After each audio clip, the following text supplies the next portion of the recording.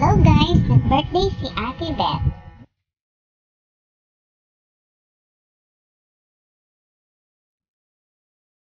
Sama niya ang Titans nag-celebrate.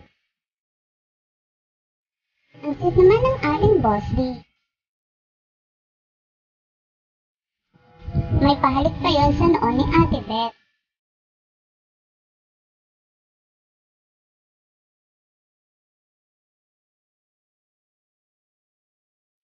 Bait-bait mo talaga, boss D.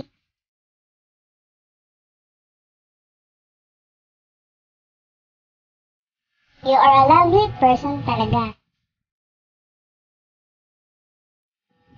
Napaka-sweet sa mga loved ones.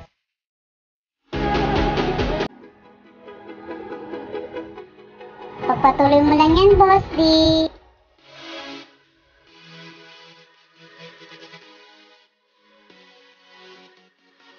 Kasama din si Regine doon at binati din si Ate Beth. Happy birthday, Ate Beth! Boss D loves you so much. God bless, Ate Beth.